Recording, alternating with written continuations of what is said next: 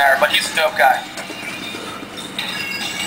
Lyrically, oh, Poe, Nietzsche, um, shit. I, I like a lot of Shakespeare's writing. I know I posted a lot of Macbeth stuff lately, but my life is like Macbeth. You know, a lot of people in my ear telling me one thing that's uh, you know not true, and then going out the other ear um, as me translating whatever they said in the other ear. So it's like it's kind of it's disturbing and weird at the same time. But I quote a lot of Shakespeare because I feel he's been through the same shit.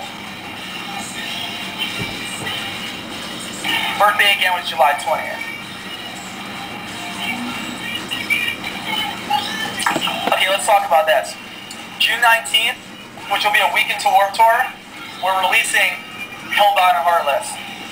Now, I'm really, really excited to release this record for you. It's a far cry and a lot different than our other record, but it's a lot of me in it. The last record had a lot of the producer. It had a lot of uh, things that I weren't